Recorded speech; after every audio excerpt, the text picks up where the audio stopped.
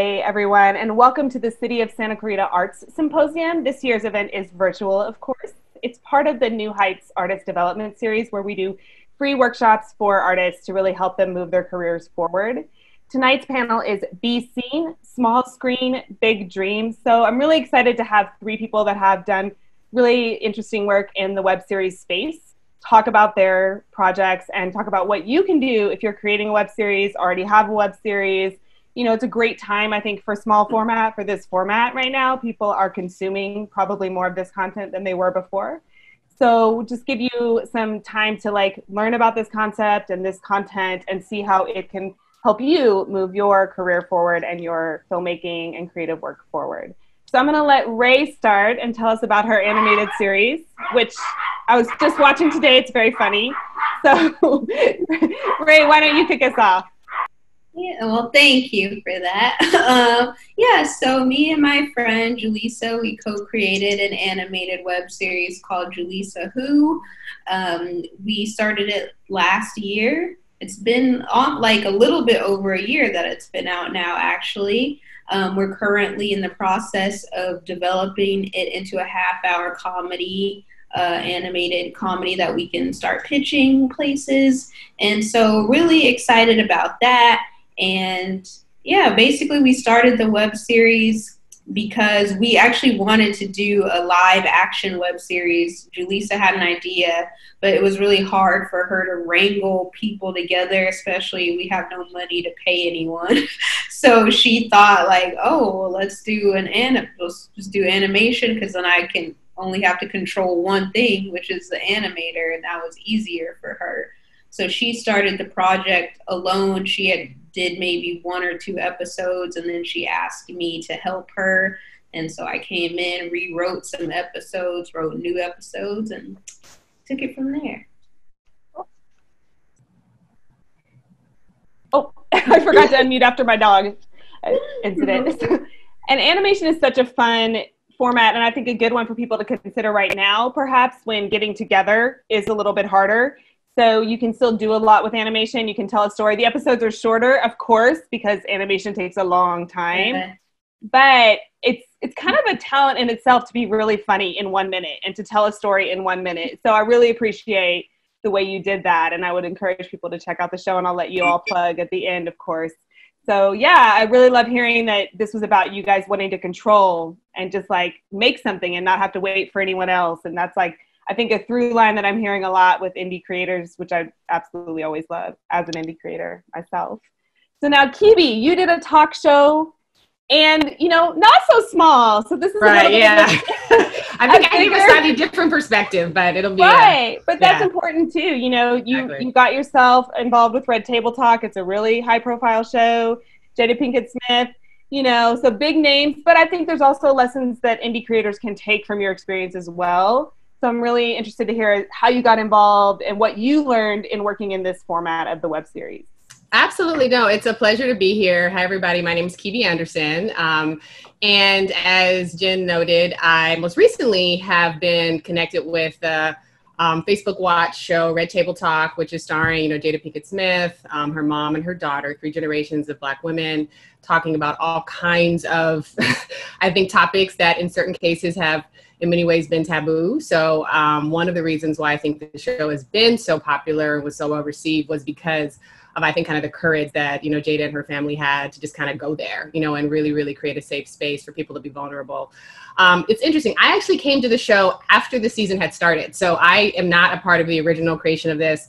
I was brought on to basically run um, the digital business connected to sort of expanding the brand beyond just the show itself. So our vision with that was focused on extending into different platforms ranging from podcasts to, you know, sort of publishing to um, you know, feature length films down the road if they were interesting, you know, sort of spin-offs. Um, you know, uh, just kind of think about all the places that you might actually, you know, experience the brand beyond just the show. Um, but I definitely can comment on sort of the, the uh, genesis of the show, you know, because of obviously my kind of connection more, most intimately. Um, and I think it's an interesting one because, as you said, high profile talent, you know, money not necessarily an, uh, an issue per se in terms of budget you know, they pitched the show not only to networks, but to streaming platforms, Facebooks, the YouTubes, that kind of thing. And there was a very conscious decision by Jada to want to do it um, in a digital platform versus, say, a more traditional TV network um, because of a couple of things. One, she really, really wanted to have a lot more control. And I think that's just the nature of working with, you know, digital platforms. Um, they're known for giving, you know, creators a lot more control. And the other thing, and this is why I think Facebook kind of won out versus some of the other platforms, is the fact that community was really important to her. She really wanted to be able to, t- to access and have kind of one-on-one direct opportunities to hear from the you know the viewers to hear from um, you know people all over the world you know and the fact that facebook is a global platform really played a role in that. So I know we're going to talk a little bit more about this later on, but when you think about audience development and building community, um, you know, having the flexibility, I think, of a digital platform, you know, we could immediately respond to topical things quickly, you know, because we could adjust. So if there was a show, i.e., when the Jordyn Woods thing happened with the whole Kardashian stuff, um, you know, that was one of our, our top rated shows.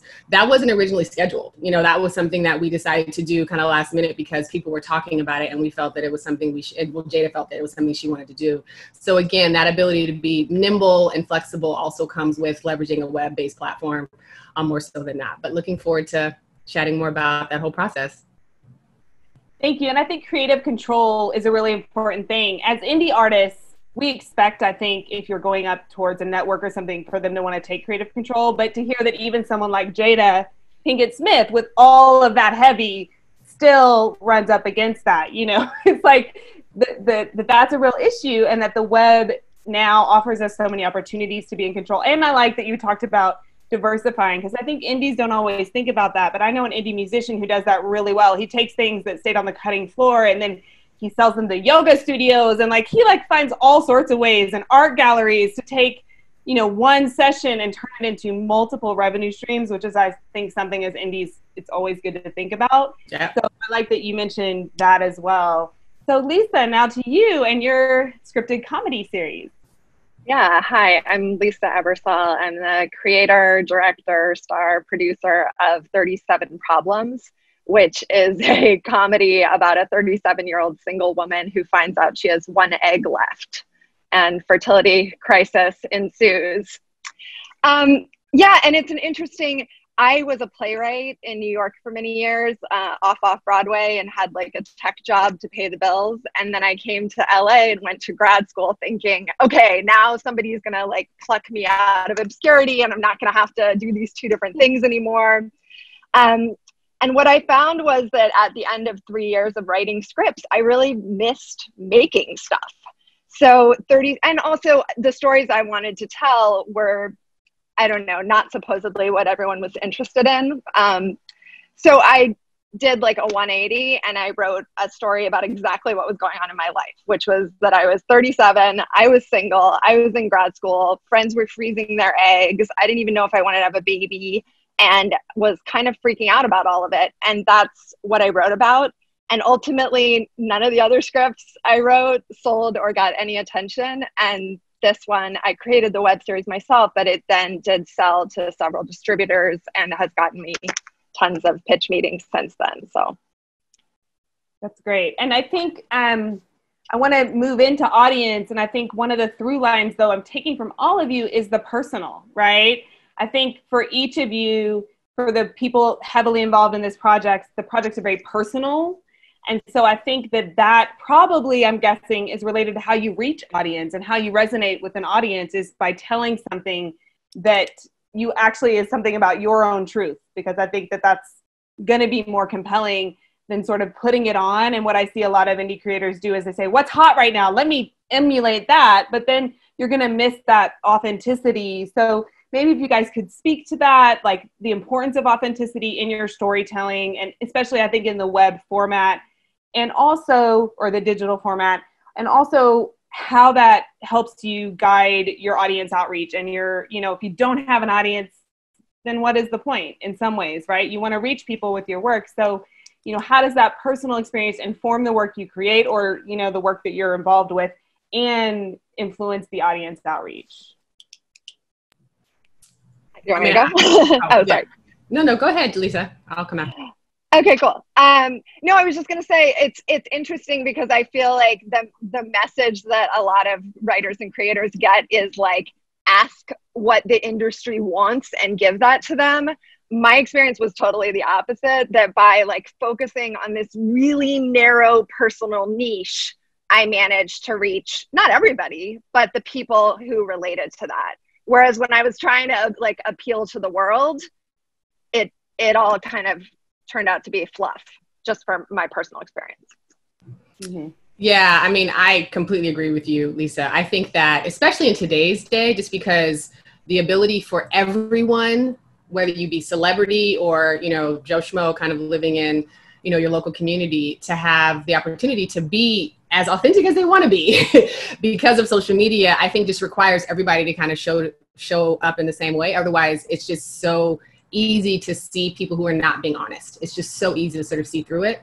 Um, and the thing I was going to say in terms of, you know, authenticity, I mean, listen, I think in many ways, especially if you don't have a huge budget for marketing, you are fighting against a ton of other noise, of other projects, other content out there that, um, you know, makes it hard for you to sort of gain traction. So it's a lot, I think, more smart and even easier, you know, at least I'm sure can probably speak to this and Ray too, to to find a niche that you are passionate about. You know, this stuff is not easy. you know what I mean? Like this stuff takes hard work, it's money, it's you know, blood, sweat, and tears. You're begging, you're borrowing, you're making things. Mean, because I've made web series as a producer. I've been a producer for 20 years, you know, and I've made other web series that where I didn't have the kind of money, you know, that I have with Red Table Talk. So I can talk from both sides.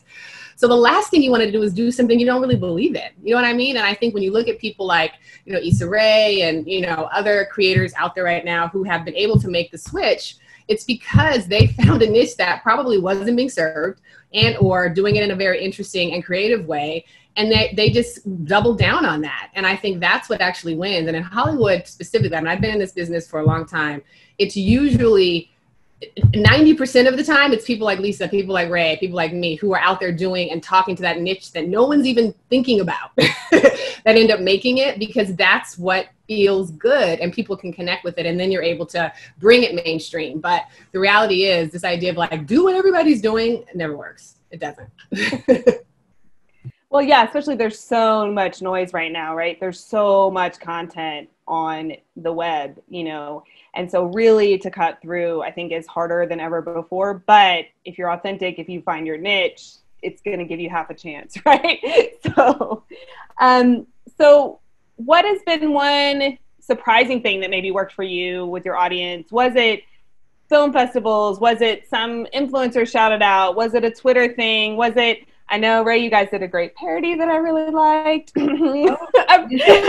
did a red table talk parody actually. It's really well. It's really great. It's very good. It's that Red Table Talk is legit. Like I love that show. So it was done in loving taste, but still, you know, it's the highest form of flattery. You know. Yeah, so, well, mean, it makes sense. Yeah, leverage yeah. it to push your thing. You know what I'm saying? Well, that's what I'm thinking. Like, what have you guys done to build leverage? Like, what's something that's worked for you? And it may not work for everyone, but someone might say, "Oh, I think that would really work for me." For us, I think it was really just learning what works on different platforms, especially as a digital creator. Just like from a purely algorithm standpoint, like we had to learn about YouTube versus Instagram and learn how to di- like edit our content diff- differently for different mm-hmm. platforms basically. Yeah. like we started we were only posting instagram videos. We didn't even have a youtube page. Um, it was all on instagram. And Instagram actually they don't like longer content. They like shorter content. So we post our episodes and our episodes are short. Like the first season was only a minute, so it's not long. But even posting those minute long videos, we would only get maybe 800 views, like pretty low engagement. So then we had the idea to start making memes of moments that happened in the episode. So, like, the actual episode might only get 800 views, and then we post like a three second, five second meme, and that'll get 10,000 views. So, like, the discrepancy is extreme. And on YouTube, it's the opposite, where they prefer longer form content. So we'd post our one minute episodes on YouTube and they would do really badly because YouTube actually promotes content that is at least three minutes or longer. So it's really just learning. Um, I think what whatever platform you're using, you have to not only be a creator, especially like me and Julissa, like we do this ourselves. We pro- like I produce it, like we do the voices, our friends do the voices. It's, there's no team, just two people doing everything. So we sort of had to learn all of these things, and marketing is extremely important because you can make an amazing product, but if you don't know how to market it properly, no one's going to see it. So true. So true. Yeah, Kibi, please. Yeah, no, I mean, I can talk about some of the cool things we did, you know, and I'll be honest, we probably had the, the kind of the opposite problem. Like our community was actually organically huge from the start. Now, obviously, Jada, you know, is an international star. Her husband is an international star, you know, so they were able to kind of leverage their social platforms to do some initial promotion. Um, and people came. You know folks were like wow you know they're talking about some stuff that they had never talked about before as a family. So i think that was a big hook for people to just want to come and kind of see who okay. Because there's been tons of you know comments and thoughts about what was going on. Um, so i think just the rawness of even that first um, uh, episode with her and Will's ex-wife Sheree really set the tone. And so from that part, you're able to really lean into okay, we've got this huge community. I mean, we probably had almost half a million people in a Facebook group, you know, within like the first six months, which is which is big. Um, and so my thoughts were, okay, how do I galvanize this group? How do I keep them engaged? And how do I get them to be become ambassadors for more people? So we actually had one one idea. Well, one thing that we ended up um, discovering from looking at some of the data and ended up d- doubling down on was there were um, a lot of women who would kind of launch their own Red Table Talks group pages in the Facebook uh, Facebook world there were Red Table Talk Virginia, Atlanta, Los Angeles, and these ladies were doing it on their own for free. And so we began to reach out to all of them and actually pull them into the fold and actually turn them into kind of like first, we call them the RTTOG. So kind of like first look, hey, we're thinking about trying to do something. We want to get your feedback, or can you tap into your communities and begin to be ambassadors for different ideas that we had? And they really responded. And things like Jada shouting them out on the show, you know, doing very specific um, features, you know, about what they were doing in their own local communities. It really helped people understand we're people who are watching. Wow, like people are being seen. You know, we would have monthly uh, monthly um, uh, conference calls with the ladies, and they would actually talk directly to Jada. So that was really exciting. So just really trying to personalize and um, you know just bring together i think an, under, an idea that we see you we see the value in you and even though you know you're sort of thinking about this you know larger than life celebrity we brought it down to like the very individual um, person who was running this group you know who was just doing it because they loved the show and loved what what, what it stood for and we're getting a lot of recognition because of that. So that's one thing that we did. Definitely agree with ray in terms of cutting different things behind the scenes. We would shoot for two hours. But you'd only see 25 minutes worth of content on the actual episodes between 25 to 30 so we would do, do a lot of behind the scenes stuff cutting certain things for um, you know, Instagram versus Facebook. You know, we had a ton of people who would create art, you know, who create songs. I mean, there were a lot of things people were doing. And our goal was to try and regenerate that as much as we could to let the community know we were paying attention. Well, I think what both of you are speaking to is like recognizing your audience. If they're on Instagram, this is the kind of stuff they want. They want the men's. If they're on YouTube, they want the longer content, you know, and, and even Jada saying, I got to engage my audience, you know, so that I can really make the most of this. And I think just recognizing what the audience is, recognizing what the platforms are. I think a lot of people think I'm going to make one thing, one size fits all, and share it everywhere and it's just not the nature of the beast anymore you know you have to tailor it like you're saying take that extra time if you want to build the audience it's going to get you whatever the next thing is pitching your show and being able to go in and say we already have this many people or getting those writing opportunities because somebody saw your show like whatever or getting those distribution offers. If you don't have an audience it's not going to happen you know even if the content's great you know it's just not going to happen. Lisa do you want to add something?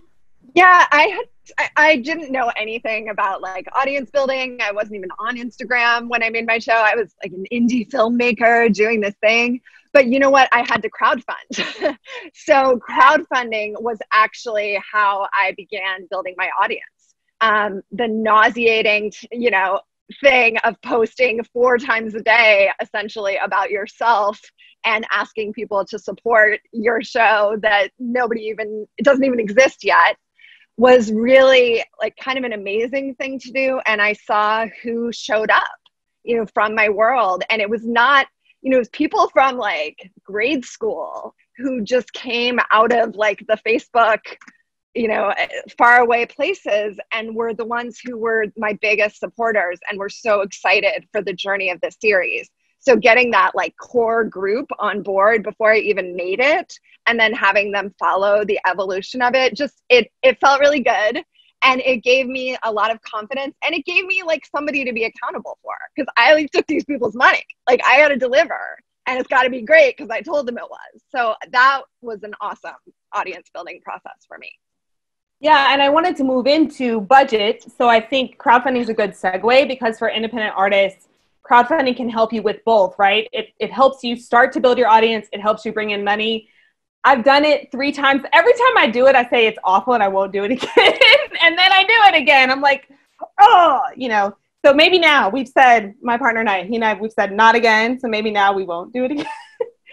but because even once you built your audience, it still feels like starting again, you know, um, in some ways. And also, you don't want to overtap your audience. I mean, ours were over a very long period of time um, and sometimes in partnership with other people. But, you know, how do you budget? Do you put ads and promotion money in or, you know, Ray, different editing costs? Like, you know, do you just say, we've got no budget, so it's just going to be me and this one other person? It's our passion project. I mean, my partner and I have certainly done that a lot.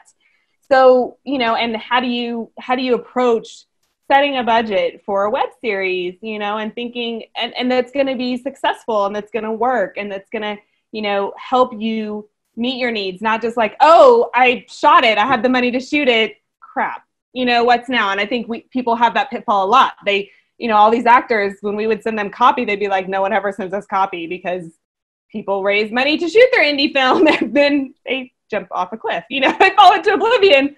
So, you know, how do you see the project through from that perspective? How do you plan your budget for your for your web series how many episodes how many seasons you know you know how do you, do you guys each approach those things and Kibi, maybe on other web series that you've been a part of as well of course you can speak to that um I, will keep I can keep going yeah. for a second. Uh, so pretty for me pretty traditionally um, I, I, wrote it without you know i wrote it with budget in mind you know minimal number of locations minimal number of actors i had access to almost everything i needed location wise except for a doctor's office which ended up being one time a therapist's office and one time a dermatologist's office neither time a fertility doctor so that was an excellent production designer but I knew it was 10 episodes and we just worked backwards from there. I hired, you know, a line producer and we went through it and it was like, how much is everything going to cost? Okay.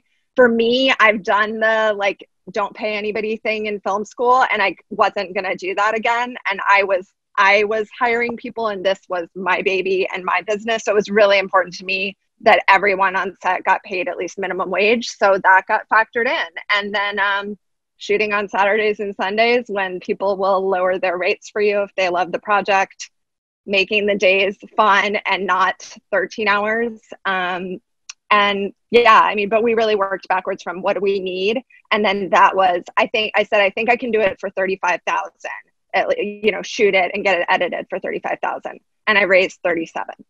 So it was like, lit- and I didn't pay myself, unfortunately. so it was literally, I, I, recommend you do. That was my decision in retrospect. So, yeah. Yeah. Yeah, I mean, I'll I'll hop in. I mean, I echo everything Lisa said. I mean, I I like I said, worked as a producer, so you're always thinking about kind of budget, you know, and and what kind of what's the next thing. Um, and I think it's also, you know, I mean, I like the fact that she sort of highlight, you know, 10 episodes, like, because the question is like, how many episodes do you need to tell this story? Um, because if you can do it, it, maybe you initially thought you needed 10, but you can do it in eight. That's something to kind of keep in mind because budget does come into play. The other thing is also thinking about the number of episodes to, that it takes to build an audience because i think sometimes people will sort of be like okay i got enough money to like make the pilot and then there's nothing left to like do multiple episodes or you'll even release something that's maybe one or two episodes sort of setting it up, but then you don't have anything, you know, down the road. So I just think it's important to sort of think holistically about, you know, what is your end goal with this? Like, are you just, are you trying to build audience? Are you trying to build audience and to potentially use this as a calling card to try and, you know, get a writing job or whatever the case is, you know, because I think all that stuff can come into play. But starting with that end question in mind, I think helps you kind of do the back end work that Lisa highlighted. You know, absolutely. And I think in today's world, to not consider marketing as a part of your budget, I think is just doing a disservice to the success to the potential success of your project. You know, I know you talked about like paid ads versus organic, you know, um, views and all that kind of stuff. You know, with Red Table Talk, we absolutely, you know, did a lot of that stuff, especially for some of the um, projects that I was doing sort of as sort of ancillary support, you know, because we had the show, which was, you know, big, you know, bigger budget, you know, relative, you know, to kind of probably what you know the average you know indie web series person is doing. But the question was okay beyond that how do i get people to then say hey i don't i don't just want to come to red to their facebook uh, page to watch the show but i'm also willing to listen to the podcast or i'm also willing to buy the book or you know we were thinking about rolling out, you know, well, we did. We, we launched a, an e-commerce opportunity where we sold like a game over the holiday that was, you know, a derivative of kind of the show concept called We're Not Really Strangers. And it was a Red Table Talk expansion pack. So I was thinking, okay, how do I get people who are not necessarily coming to the show for that to then think about those other things. So we had to be very creative with sort of, you know, additional content campaigns that we did to try and get an email address or, you know, to get somebody to put their credit card down, you know, so thinking about all of those things um, budget wise was really important. And we, you know, we were able to have money to actually do paid ads. Um, but then, like I said, we had that community, you know, on Facebook, um, you know, and obviously Instagram too. Um, and so that was also folks who we would tap and say, hey, we have this thing we're coming out. Can you promote it? Can you push it to your people? Um, you know, so making sure you're leveraging the free stuff, but keeping in mind that you may have to do a little bit of paid spend too um, is always helpful. Mm-hmm. Ray, do you want to add anything? Yeah, I'll jump in because me we did the complete opposite of all of this. We and that's what I want janky. people to know. Yeah, I, I, feel like there's a lot of janky people out there just like me that don't know what they're doing but want to get stuff out there. So I'll give you the no budget version of how to do something. Um, so yeah, we basically, like I said, we wrote to our budget. We knew we didn't have that much money. So we found the cheapest animator that we could find, and he charged $85 a minute. And so that's why our episodes were a minute because we could only afford to pay for one minute of animation. So um, we uh, wrote we wrote new scripts. Um, I like I guess I'm the executive producer, so I rewrote um, scripts, wrote new scripts um, yeah, and our only cost, honestly, was animation because I did all the editing myself. I did, um, you know, adding in sound effects. Um, Julissa did the voice of the main character. I would hop in and do a voice if necessary. We'd get our friends to do voices, and of course, people are willing to hang out when or help out when it's only a minute. Um, there was no professional equipment involved. Literally, people would record the voices on their phone and send me the recording, and I'd edit it into one clip and send that along with the script to the animator. So it was very, very um, scrappy, no budget at all, but we managed to get it done. I also come, I'm a graphic designer as well, so I come from that background of marketing. So when we did build our Instagram page, I was able to, you know, design graphics for us to use. We had we the second season we did do some crowdfunding, but it only probably accounted for I would say maybe 30% of the budget. The rest we still paid for. But as part of the crowdfunding, if people donated, I would do a little illustration for them, like in cartoon style, and people really liked that. We'd post it on Instagram. People would also post it on their Instagram, and then that would drive people to follow us. So I think it was just being very creative. Like I always tell people, because I think budget constraints is obviously anyone's number one concern. If they say, I have this idea, but I don't have any money to make it, I think that you can always create something to your budget even if you have like a huge idea, I tell people, you know, if you have a genre a fantasy show idea, you can't really make a low budget version of Star Wars. Like it's not going to look right, but you can make a scripted podcast of, of a fantasy show, of a genre show, and you can do that for extremely cheap. So I think that no matter what the idea is, you can always make some version of it that works on your budget. And I don't think that should stop anyone from creating anything. No, and I think that's a really great message. And it's interesting. My partner, so done with crowdfunding, he taught himself how to code like last summer, and then he taught himself how to build a PC so he could start creating video games. I'm like, oh, okay. So like, so now he's making video games so that he doesn't have to like raise the money to do film anymore. And he really loves the video game space. And you know we are diverse people he and i telling diverse stories. So he's also like and if you think the film industry is white you know he's he's going like there's nobody that looks like him. He's mm-hmm. dominican and african american he's like there's nobody like me making video games like there, or there's like five people he's found a group now he's like there's like five of us so you know just saying, you know, I want to create. I don't want to deal with that anymore. So I'm just going to teach myself how to code and I'm going to learn how to make video games. I think it's what you're saying. Like, if you really have that drive and passion to create, you think creatively and you think about how am I going to get this done, you know, and that's what you guys did. And I think that's what we all do no matter what budget we're at because even on the big end, it still feels like never enough, you know. oh, absolutely, still, yeah. You're still like you know stealing from Peter to pay Paul and going, uh, how are we going to get everything we want to get done? Because we all do have these big dreams and these these big goals. Mm-hmm. And so I love that. Like, make something that you can with the resources that you have. And in that vein, I think a lot of people think about the web series as an answer to make something. You know, you don't have to get that deal from a TV you don't have to do the same thing you need for a feature film. It's not that same hustle and work. So, how did each of you approach this, or how do each of you view the web series, the digital platforms for career building, for what your goals are? You know, how do you view that opportunity for people thinking, this is where I want to go? Is this the right thing for me to do to help me get, you know, where I'm trying to go? I mean, I'll, I'll start. I mean, you know, I um, I never like I I always started as I always started with the understanding that I wanted to be a producer. So for me, this was about creativity and testing that muscle. Um, you know, and so web series. I mean, I'll give an example of an early web series, you know, that I've worked on in my career. You know, when I did not have money, and we were definitely, as Ray said, you know, trying to rob Peter to pay Paul, make a dollar holla, whatever you want to say. um, you know, it was it was a, a, series called The Cooler, and it was basically like us talking about kind of. Uh, current events. And initially, we were like, let's have like five people standing around a cooler to kind of like talk about this. And the writer was a really fun comedian. So, like, the scripts were so punchy. And that's really what was going to sing. And initially, we were struggling to find sort of talent to do this. And then finally, we realized, you know what? We don't need to see their faces. Like we actually could just shoot this from the bottom down. You know, they're in front of a cooler and they're talking, and the idea of hearing them talk and go back and forth could be recorded anywhere. You didn't have to deal with the challenges of getting actors in the same room and all that kind of stuff.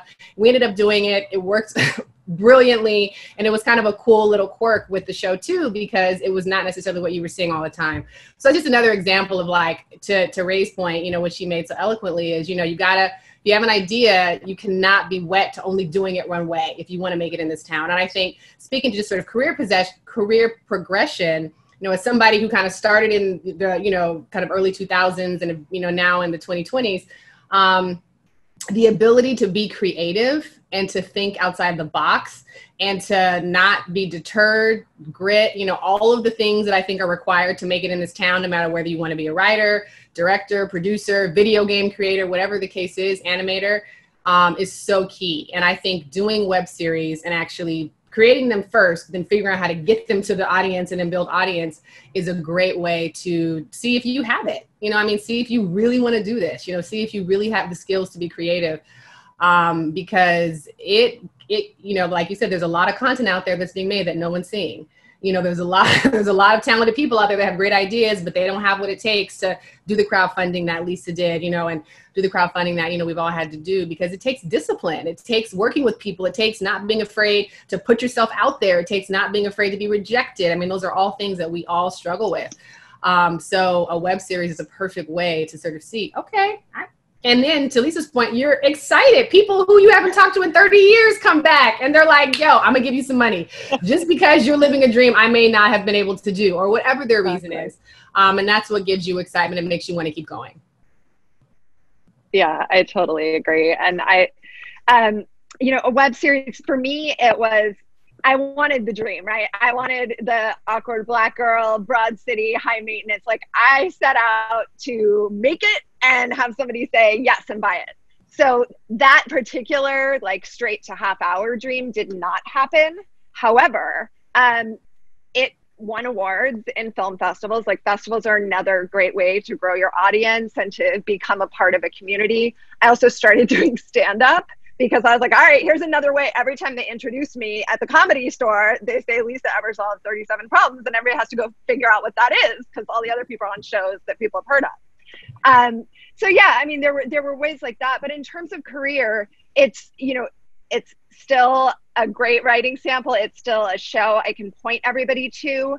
Uh, and I and it got me meetings and legitimacy in the industry very quickly, which I had in the theater world, but did not have like vi- visual evidence of myself as a writer, director, actor, producer. And if you're planning to be anything, any one of those, you have to have evidence that you can do that thing. And I needed to show that I could do, you know, all four if I want to be Issa if I want to be the Broad City people or the high maintenance people. And this allowed me to do that. Yeah, I would agree with Lisa that it's just proof of your skill. Um, I think, especially as a writer, um, I've worked on a, I'm currently a script coordinator on a Netflix show. I was a writer's assistant, but find, I meet a lot of people that say they want to do things but don't do any of them.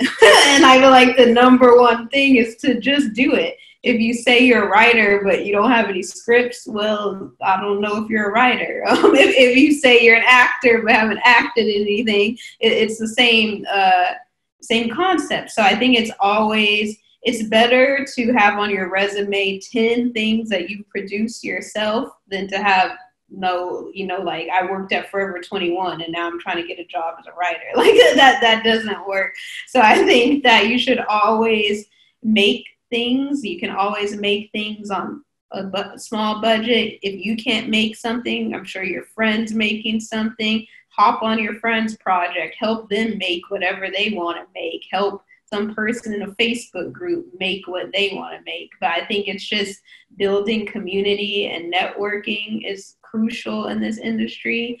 Um, and doing your own work and meeting other people, creatives that are also doing their own work will just make you a stronger creative and give you the necessary experience to then transition if you want to, you know, work on a studio network show or even if you want to just keep being independent, that's totally fine and making your own stuff. That's though both are equally valid routes, but you need to do something. The first step is to do something.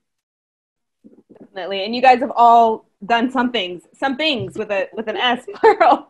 And I just love that, you know, especially I think, you know, some people, not everyone, but some of us we have more time right now to create. Um, we have more time to think outside the box, to bank those scripts, you know, like to be able to come out and say, look, I have five new projects or and also I think some people I'm talking to are saying, I'm getting the ear of people I couldn't before because some people are a little more accessible now that they're just you know not having to do the office thing. So i think it's like using this time wisely especially to show that you're creative and you're versatile because i think that also sells in the industry. If you are creative and you're versatile and you can wear lots of hats and you can adapt i think adaptability the industry is seeing is way more important than anybody thought before you know especially going through the pandemic so i love that each of you has that and, and has shared that. So we're getting close to wrapping up. So I want to ask you all, I always like to ask, what are you working on? You know, maybe besides the things we've talked about, or if it's just those things, what are you working on and what are you watching? I always like to know what people are watching right now, what they think we should be watching. So what are you know, what's inspiring you as a creator really is what that's about. So what are you working on? What are you watching? Or reading?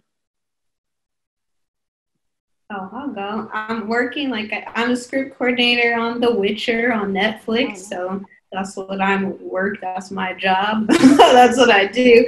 Uh, I'm currently, uh, like I said, trying to develop uh, the cartoon into a half hour. So I'm working on a pitch deck, um, the, you know, for a few weeks. And I'm currently watching. I'll say I, I rewatch. I'm rewatching The Office because I do a lot of rewatching. But um, I started watching the new season of PEN15, which is my favorite. And everyone should watch that show. Lots of comedy inspiring you, and you do comedy, so that that makes a lot of sense. Yeah. I feel like the world, for me, the world is dark enough these days. I, am not trying to watch anything that deep. I did watch I May Destroy You though, it, but um, I think that that's just no more deep stuff for me. I'm just trying to laugh. Yo, I can totally relate to that, Ray.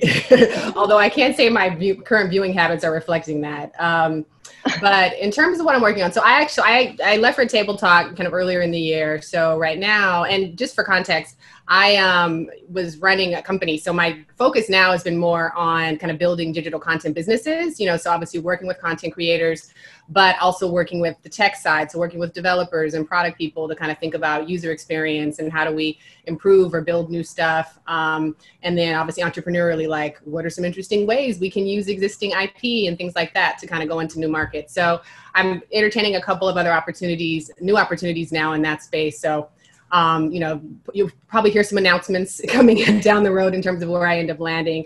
I would also say I'm working on getting the vote out. so I don't know when this is going to air, but absolutely, you know, and trying to get as many of my friends, you know, just registered and active and engaged and, you know, excited to do their civic um, duty, you know, in November.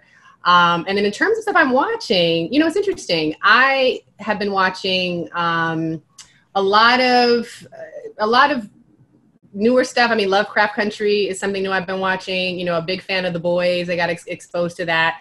I got exposed to Cobra Kai late, um, which is the series I was on YouTube um, Red, but binged it on Netflix in like you know two days, like I think 48 hours. And to Ray's point, it was just fun. It was light. You know, The Boys is not any of that.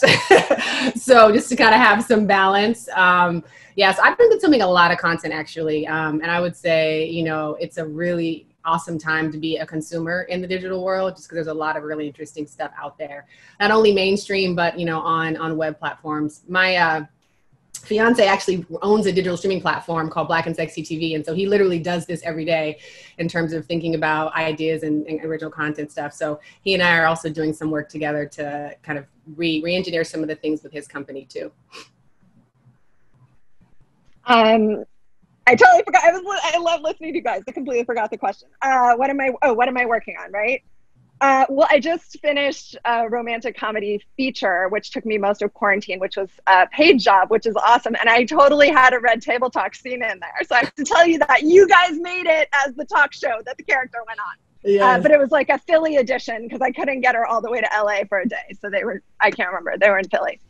Uh, and I'm also working on the half hour follow up to 37 Problems, which is looking for a baby daddy, uh, the a co parenting baby daddy who wants to be 50 50 on everything except for romance. So that's the half hour I'm writing. And then I also have a coaching business. I coach screenwriters of how to write through their authentic lens, which is basically writing a thing that nobody else but you can just because that's what's worked for me and the people I know in breaking into the industry, which is what a lot of us are trying to do. Uh, and in terms of watching Ted Lasso, very fun, mindless. Mythic Quest quarantine episode is like the best thing I've seen. I loved it so much. Really shows you, like Ray was saying, what you can do with tons of constraints and only one person on screen at a time. And then Normal People and I May Destroy You were my favorite new shows of quarantine. Nice, nice. Well, it's been so fun chatting with you all and hearing all of this inspiration. I think people will totally come away with this with useful tips and to maybe get started if they haven't started yet and start creating something. Please also, as we sign off, please also share where we can find you on social, where you want us to follow you. You know, like we want to be a part of your audience. So where can we find you on social? Like, where would you like us to follow you? Well, I'll go first. So my name is Kibi Anderson, K-I-B-I Anderson, and I'm literally that everywhere at Kibi Anderson on Instagram, Kibi Anderson on Facebook, Kibi Anderson on Twitter. So just Google Kibi Anderson, it'll pop up. but definitely would love to have everybody come join my community. Um, you know, and I, I, do a lot of talking about, you know, sort of ways to uh, build businesses, career advancement, that kind of thing. So if you're interested in hearing more about that, please stay tuned. Lisa, cool. Yeah, uh, I am at Lisa Ebersole on everything, and the series is at 37problems.com. That'll give you like several options of where you can watch it. And at 37 Problems TV is its specific Instagram handle. But at Lisa Ebersole is the easier one. Great. And Ray, what about you? I, first, I need to hire Kibi to help me with my business. so I'm following. But um, yeah, you can visit us at julisawho.com, J U L I S A W H O.com. The IG, YouTube, everything, all the links are there. And then, actually, I forgot to mention this, but I also started a business um, at the beginning of the year to help marginalized communities gain access to the entertainment industry. Um, I actually I did a webinar webinar earlier today um, with one of the producers of Insecure and Black Lady Sketch Show. So follow my company. It was free, and I'm gonna post a recording for free. So um, you can follow my company. It's called In the Cut, and you can follow us on Instagram at In the Cut LA, or go to the website inthecutla.org. Well, thank you so much. I'm inspired. I'm totally inspired by everything that you all are doing, and I love I love that there were like through lines that connected everybody's work a little bit. so that maybe I, I didn't even know when I when I selected each of you. So that's always a cool surprise.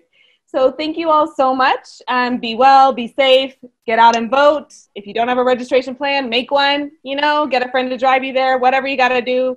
Um, thank you for that reminder, Kiwi. Very important. I recently moved, so I'm like making sure I'm registered in my new state, you know? So it's like top one. Yeah, priority. you forget. You don't realize those I know. things. Yeah. Yeah. So. Like, oh, wait, I have to be registered here. Time's running out. So thank you all for your time this evening. Keep being creative and keep safe, everyone. Thanks so much. Awesome. Thanks, everybody. Uh, thanks, everybody.